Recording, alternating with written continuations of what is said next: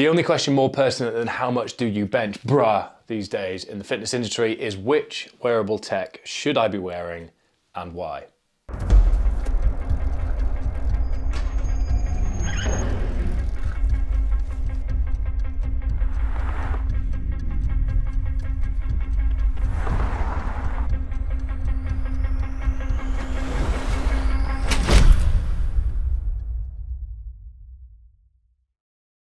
Hello everyone and welcome to another video. Today is going to do exactly what it says on the tin and compare Garmin versus Whoop. Which do I use, why do I use them and how can you use them in your day-to-day -day fitnessing, exercising, lifestyling and any other way in which you think one of these things might fit into your day-to-day -day life. So I'm going to break things down from an overview of what I use, I'm going to give an overview of Whoop. I'm going to give an overview of Garmin. I'm going to run through the limitations of Whoop, the limitations of Garmin. I'm going to explain why I use the wearables that I do. Then I'm going to run through a few things that you should consider so that you can make the most informed decision at your end. And then I'm going to conclude by summarizing my thoughts and feelings and opening it up to the floor below in the comments for you to do the same. And as well as commenting as we go, please do like the video. Make sure you have subscribed if you have not yet already and do please give your thoughts and feelings or any consideration that I might have missed or any experiences that you've had in the comments down below. So let's get into today's video. First of all, I think it's probably useful for those of you that might be new around here, hello, to give you a little bit of context on myself. That was a creepy hello. I apologize if that's now pushed you away from my channel, but please bear in mind I don't normally say hello like that and have confidence that is the last time you will ever see that apologies. So context on myself. I train across a variety of disciplines, strength and endurance. I'm predominantly strength and triathlon at the moment, which means lifting in the gym, swimming in open water, swimming in the pool, turbo trainer sessions, sessions on different bikes outside, trail running, hiking, road running, track, all this stuff. So there's a lot of things that I want to track and manage. Alongside that, I run two businesses, so I'm in and out of the office most of the working day. I have a lot of commitments over the weekends, a lot of travel, and a lot of things that I want to manage. So managing my overall performance as a human being, staying happy, staying healthy, making sure that I'm optimizing as best I can across all the things I've got going on. Everything I'm saying today is very relevant as part of my broader considerations for that. So why don't we kick things off by breaking down all of the equipment that I use. So on a day-to-day -day basis, this is on me 24 seven. And then I will rotate in other things depending on the activity. If I am working, I will have this on because I like it. And from a bit of a symbolic point of view, when I put that on, that symbolizes I'm getting focused and getting down to work. When I take it off, I'm doing something else. And that's just a bit of a, a boundary metric for me. Bit weird, I know, but it works for me. So don't come at me in the comments calling me a freak. Then when I need to track something like running, pool swimming, whatever it is, I will put this on. And then I use that for the facilities that it has to track those activities. This is a Garmin Fenix 7X. Very, very sophisticated bit of kit and it covers a whole load of activity tracking. And then this is there to manage my overall lifestyle. When I'm using my Garmin Fenix and tracking my activities, I will also have this on as that is there to basically get as close to my heart as possible to give the most accurate data reading. Generally speaking, the difference between this, this, and this is pretty minimal. But as I've been using this for years and years, having that consistent data over the sort of backlog of information that I've got is useful. When I'm out on the bike, I'll be using this. This is a Wahoo Element Bolt just a really good bit of kit, syncs up to my power meter, syncs up to my heart rate, and gives me live feedback right in front of my face when I'm on the bike. So I don't need to be going like this or going like that out of aero position as I'm riding. So that's an overview of all the things that I use on a regular basis in terms of wearable tech and general equipment that falls into this space. So why don't we give a bit of an overview of this thing before we get into the detail. First things first, for the sake of transparency, it's worth mentioning I do now work directly with Whoop, but that was after two months of trial and error and getting used to the data and understanding where it fit into my lifestyle. So if at any stage for you it sounds like, yes, Whoop is for me, then use the top link in the description down below and you can get your first month free. Don't say I'm not good to you around these parts. It does also do me a solid, so that would be much appreciated as well. Thank you very much. But what is Whoop? Well, in short, it is a very high performance lifestyle wearable tracker, which gives you information across three metrics, which is strain, recovery, and sleep. And the principal reason I was drawn to Whoop in the first place was because of the sleep metrics and the broader holistic, how can I look at health in a broader term rather than just my athletic performance. And that's why I like having this on because it means it never comes off. It's very small, it's very easy to work with. It charges like this. So you never need to take it off, which means that you've always got access to data. And the longer you build that out over time, the more information you have to work with, and therefore the more informed decisions you can make on what you do next. So in short, it is a wearable lifestyle tracker that gives you data across those three metric points and is always on your wrist. Next up, we have the Garmin Fenix 7X, which in short is a world-class activity tracker. You press start here and you have access to a whole load of activities that you can start from tracking golf courses to pool swimming to open water swimming to trail running and everything in between. The live data that you get from this is like being on a treadmill as if you're outdoors and it gives you so much live feedback to inform your training as you're doing it. It's a fantastic piece of kit. I use this predominantly now for running, swimming and hiking. Beyond that, I'll generally be using this on the bike and I will be using this as a lifestyle tracker. So this is coming on and off. I'm not sleeping in this for reasons that I'll explain why soon enough. But for me, taking this on and off like this symbolizes that a certain activity is about to take place and therefore I can switch on to things mentally a little bit more. Worth mentioning that whenever I am using the Garmin Fenix 7X, I'm using a Garmin HRM Pro as a heart rate strap as well. And then what I'll do afterwards is I will compare heart rate data from these two so that I've got information from different points. So Whoop's limitations, what are they? And I think a lot of this is down to perception because in social media, online, I think there's a bit of a distinction that needs to be made that this is an activity tracker, this is a lifestyle tracker. So what Whoop doesn't do is what the Garmin does well, which is press start and track an activity. Whoop picks up activities as you go and gives you that data in real time afterwards, but it doesn't have pacing data, it only has heart rate data and additional data that then supports its overall calculation on your recovery, your strain, and then gives you information for you to process to make decisions as a result of that. I hope that makes sense. HRV has become quite misunderstood in social media and the online space. What HRV is not is a performance metric that's solely attached to athleticism and performance. It is in fact our body's method of communication, a holistic viewpoint of stress adaptation from mental health, physical health to uh, spiritual health and everything in between. It's our broader holistic output from a metric point of view that gives us an indication of where we are in our day-to-day lives and therefore we can use that information to make more informed decisions moving forwards. It's also, bottom line, an awareness tool. It helps us understand how we're performing day to day from a broader holistic sense. So it's important to mention that Whoop is not only useful for people that are training in and out of the gym and athletic, it is a fantastic lifestyle tracker for those of you that just want to take a bit more control of your day-to-day -day health and performance, happiness, all the things that go around having a high, healthy, well-informed HRV. Practically speaking as well, Whoop is one product, it's a subscription basis, you know what you're getting, all the information is based around this one product and they're constantly updating and moving things forward.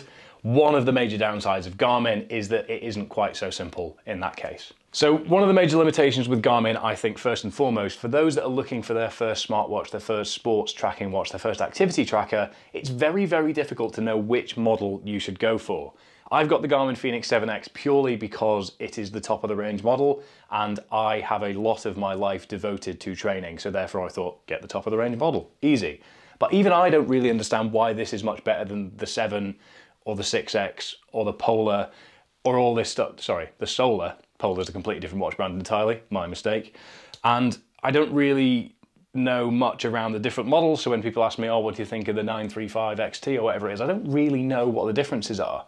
And if it's just design, if it's performance, if it's battery life, all these things, I feel there's too many variations for somebody to really know what they're buying into when they first get into the space, which from a customer point of view, I think is quite convoluted. Secondly, this thing is big. And that's one of the reasons that I ultimately decided I wanted this to work for me. Gave it two months to see if it did, and ultimately, thankfully, it did turn out to work for me very much so. And for me, that was great because it meant I could take this on and off. When I'm sleeping, I hated sleeping in this. It's just too big. I ended up bashing Aaron in the forehead with it, and believe me, that did not go down well. I'd bash myself in the forehead with it, I'd sort of glance my arms like that and just think, this is annoying me, I'm gonna take it off. And then I was missing out on sleep data. There's body battery that you get in Garmin that comes from your overall training.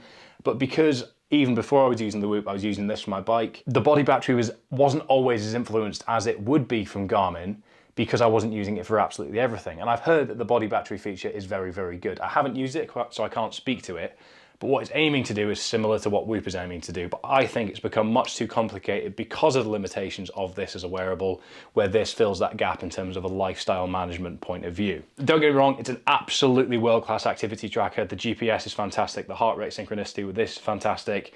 The data you get on screen, the customization of it is brilliant. But for me, I put it on when I'm about to train and use it for a specific activity, then I take it off. And then I also like wearing this when I have it off because if I'm in a restaurant and going out for a nice dinner, I don't want to be sitting there with the, the top of the range Garmin smartwatch on looking like the guy that's going to ruin the conversation by talking about how technical the trails he was on that morning were. And we've all met a person like that, and I think right now we're all thinking, yeah, he wasn't he wasn't that much fun. So breaking down that perception is useful, but the best thing is I still get all the lifestyle tracking of me walking to the restaurant, the impact the booze has on me if I'm drinking at this particular scenario I'm painting out for you here, and I get all that from here. And it's very, very neat and tidy and discreet on your wrist. It's almost like a bracelet, which I think is a massive, massive sell there. So personally, I think one of the solutions Garmin could have created was something that functions like this that syncs up with this, but the body battery feature, you only get it from devices individually. So I think they're really missing a trick there, and that's ultimately where Whoop have stepped in to cover that side of things. So to summarize the pros and cons of each device, let's start with the Garmin. Pros, it is a world-class activity tracker. The data that you get in real time is fantastic. It can better inform your training, can make your training more effective. It is a great bit of kit in terms of the additional features that it has. It can give you weather forecasts and it gives you some performance metrics that are useful and then some that are not useful, but I'll come on to that the seamlessness of it, the plug and play element of being able to start an activity, sync it up to things like a heart rate monitor, ANT plus or Bluetooth settings on the laptop, for example, that sort of thing is all very seamless and fantastic. Alongside this, for a sports watch, I do think it looks great, although I do think it's a bit big and doesn't replace a sort of standard dress Swiss watch for me it is a good looking sports watch and there are much uglier ones out there. The battery life on this Fenix 7X is actually incredible as well. I've had challenges with previous Garmin models where it's been a real pain. I've had to charge them in my backpack for option things, but this is really, really amazing. I'm charging it on average every three weeks at the moment with activities in between, which to be honest is quite mad. Do bear in mind though, obviously my long bike rides, the five, six hour ones, I'm using this rather than this so it's not eating into the battery quite as much as it otherwise would be. But the battery life on this thing is very, very impressive. Cons. It's too big. I don't like having it on all the time because it's just too big. I can't speak for all the other Garmin models. Obviously there might be some smaller ones out there that tick all the boxes for you, but the Fenix is their top of the range sort of flagship. This is creme de la creme model. For me, it's just too big. I don't enjoy it. It gets caught in my wetsuit, taking a tri-suit off, and I'm caught like this, like begging for help, being like, can somebody get my watch off me, please?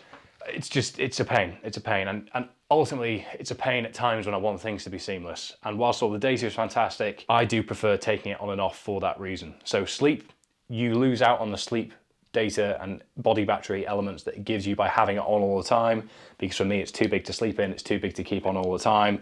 And i think that is a big drawback especially as Garmin don't have a solution in their ecosystem to be able to fill that gap when it comes to giving you the body battery across devices. Another con, they're very pricey. This set me back about 800 quid and there's features on here that I'll never even know exist and whilst it's fantastic, the durability is great, average lifespan of my Garmin's have been about two years, give or take, but it's a lot of money. There's no two ways around it. You can get a pretty nice dress watch that will look great on anyone's wrist for that amount of money.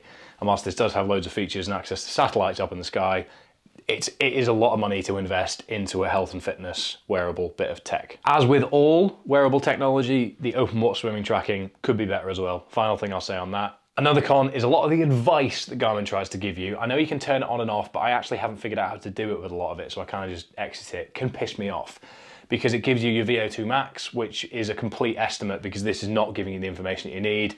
I've got athletes that constantly talk about their Garmin VO2 max and it's just so variable based on things that don't really matter. And whilst, yes, it can be a good metric to track inside of Garmin over time, it's not a true reflection of your VO2 max. It's telling you you're unproductive or you're recovering when you've had an absolutely hellish training week. It's suggesting that you do a base five minute per K run for 30 minutes when you've got a four hour run planned.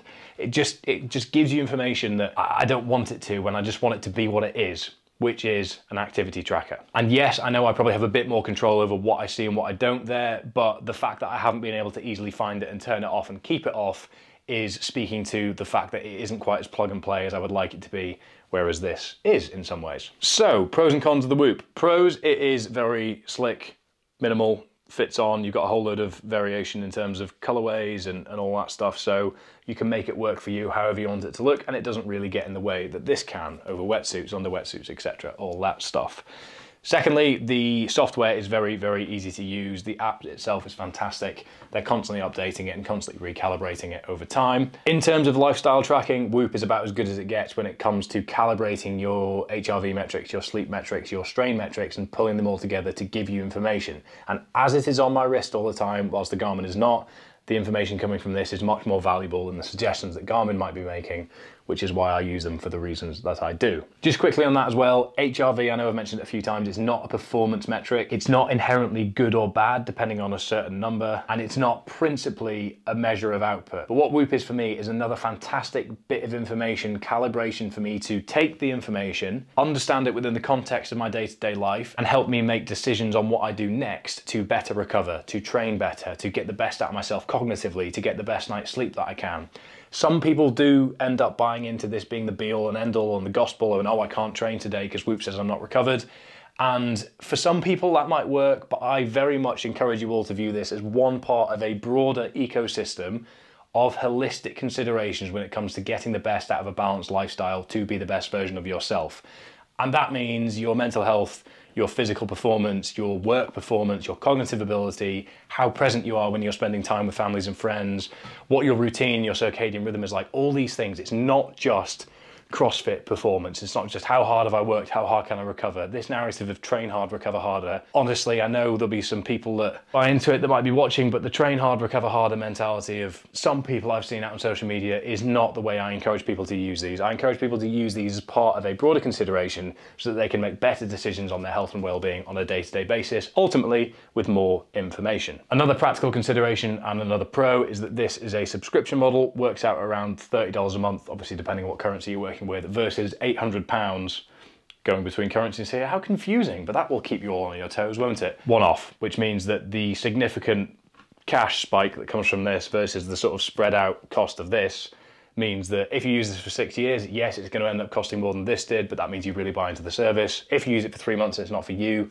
you haven't spent a huge amount of money on a device you no longer use, which in my mind is another pro. Another one is that there's a whole load of supplementary information, education, and articles, advice, loads of stuff going on in the Whoop app itself, which is the hub for everything. So whenever you're in there checking on your performance scores, etc., etc., you have access to other bits of information that again can better inform the decisions you make next. So what are the cons? Limitations of Whoop. Ultimately, it's not an activity tracker. I know some people that try and use it as one and use it for that data, but ultimately it's never going to be as good as Garmin are at that because they're different products. Activity tracker, lifestyle tracker. This is on you 24 7 to give you the information around your holistic well being, including your training, including your sleep, including your overall recovery, which is all influenced by the things that I've mentioned over and over again in this video. This is not isolated to fitness, this is not isolated to athletes, whereas this is much more in that space where it only has certain purposes for certain people. Because most people would probably rather wear something like this, but they would probably benefit from something like this. However, one con that I didn't mention is that Whoop doesn't have a step count, which I know for some people that are at a lower level of their fitness journey or at a point where they just want to focus on being a bit healthier might be something that you would like to have. Garmin has a step count, Whoop does not. Something to bear in mind. One of the cons of wearing the Whoop obviously means that it's another wearable that you're paying out on whilst having to use this, whilst having to use this. And it would be nice, wouldn't it, if all of the data was to be housed in one place and you didn't have to have multiple devices across multiple companies.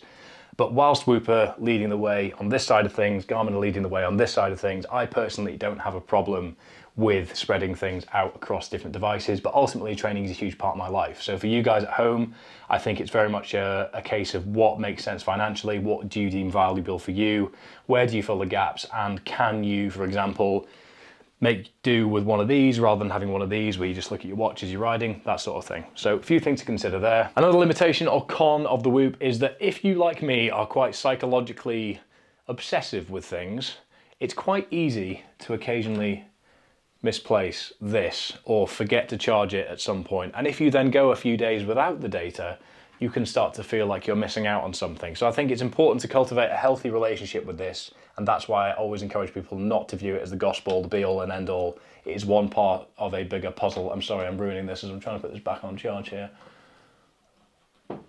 There we are. So it's one part of a much bigger puzzle, and that's something that I'm really, really keen to hammer home on. Okay, so why do I use what I do? I've obviously covered it a lot from this side of things, but I want you to understand how this all fits into my day-to-day -day life, into the ecosystem of my training, my existence, my lifestyle, etc., etc.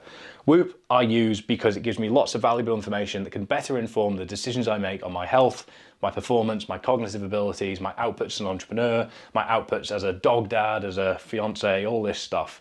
And that information is something that I consider. If I wake up and I've slept really badly, according to Whoop, and I feel terrible, then what I'll do is make, make an effort to get to bed earlier that night. If I've had a really big training session, I get a good night's sleep and Whoop's still telling me I'm a bit battered, I'll make a conscious effort to really get to bed early that night. As I'm very focused on getting up at the same time every day, this is a really, really good way. Oh my God, I haven't even mentioned the best part. How have I got this far without mentioning this? This is my favorite thing about this. Oh, Fergus, however many minutes into the video we are now, I'm disappointed with myself, but you will all know that I talk quite openly about circadian rhythm, and I like to get up at the same time every day, which for me is 5 a.m. And this here is my office. This is where I leave my phone overnight. I'm a huge, huge advocate of not sleeping with your phone in the same room. It means that you're not on your phone before you go to bed. It means that you're not tempted to look at social media or receive the stress of your boss asking for something at five in the morning that's then in your head and it then ruins your morning before it's even began. Leaving your phone in another room is a great habit to improve overall sleep quality that doesn't need a whoop. It's just something we can all do and we can all get better from, in my mind. However, even with the phone in another room, when the alarm goes off and you go to turn off the alarm, you will see the notifications that pop up. And that means that immediately you're getting a dosage of, oh God, I need to get to that. Oh, I forgot about that. Oh, today's that day before your day's even begun, which means that you're on the back foot before things have even kicked off. But what this does is through the app, is it can function as an alarm on your wrist. And for me, that has been one of the best features of this thing because it's a very soft vibration that wakes you up. It doesn't wake Erin up. I can just tap it here twice, turns off, I get up and I get on with my day. And it's entirely up to me when I look at this bloody thing that drives me insane. So it's entirely my choice. Oh, look, an email. See, now I'm distracted. My day's ruined. This video's over. You see where I'm going with this. That is a fantastic feature. And I can't even remember how we went on this tangent why I use what I do. So I use this as a overall lifestyle tracker. I've said that definitely. I use this to better monitor my circadian rhythm and therefore it influences what time I go to bed the night before because I'm always getting up at the same day. It tells me how much of an impact alcohol has had on me. It tells me how long of a lasting impact alcohol has had on me if I've had five or six beers on a Saturday. If I'm getting to Tuesday and it's telling me that I'm still battered, then what's the takeaway? Don't have five or six beers on a Saturday. I don't think you need to really watch this far in the video to know that, but here we are. I'm not too fussed about the step count thing, so I think that's why this is a fantastic combination for me. Fight pose, grr. And then, Garmin for me is an activity tracker, so therefore I use it to track activities. And when I do so, I will add in the Garmin HRM Pro to make my heart rate as accurate as possible and have multiple data points to compare from the HRM Pro to the data from Whoop. Generally speaking, other than when I'm in the water under a wetsuit just because there's so much going on, the data is generally largely the same within sort of three to five beats per minute, which is very encouraging for the wrist-based HR that comes from Whoop. For my bike rides, I will use the Wahoo Element Bolt because it is a tried and tested, fantastic cycling company that gives you all the information right in front of you, specific pacing, specific data, power data that I get from my pedals on both my bikes, and all I need to do is twist it off and put it on one bite to the next. Easy. Again, lots of pros on this thing, not too many cons, great bit of kit, but again, Wahoo, Garmin, Whoop, three different devices, three different companies. So how do I tie this all together? As I've mentioned, Training Peaks. So I know it's somewhat frustrating and the market that we operate in means that there isn't really one app that we can use all this data if we're wanting to calibrate everything together. If you just want to track your athletic performance over time, Strava is fantastic for that as it does have some features on training management, fatigue management and stress. But if you're wanting to look at your lifestyle and broader sleep metrics and all the stuff that I think we should all be doing, Whoop steps in fantastically.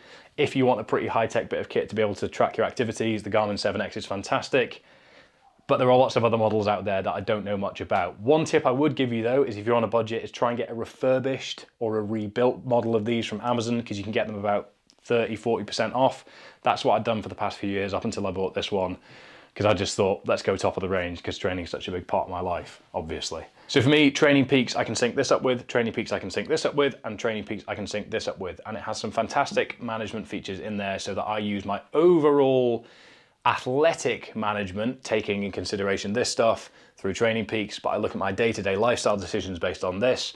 I look at my day to day performance decisions and use this as a pacing monitor from an overall consideration that comes from Training Peaks. Big con of all these things as a whole is that there is not one system or one device that does all of these things. And I think it's up to these companies to be that system and be that company that does it because that is a gap in the market that probably needs filling, in my humble opinion. These are all great at what they do individually, but they all do very different things. And that is the main takeaway I want to give to you guys today is that these are different products. One serves a purpose, one serves a different purpose. Which purpose is more valuable to you if you're only going to get one is the decision to be made. If you're going to get both, then look at the features that you want in the Garmin and try and find a table. DC Rainmaker's probably done a fantastic one of telling you what device you're looking for, and then grab one of, one of these. And if you do, use my link in the description down below to get your first month free. You are most, most welcome, and thank you because it does also do me a favor, as I've already mentioned.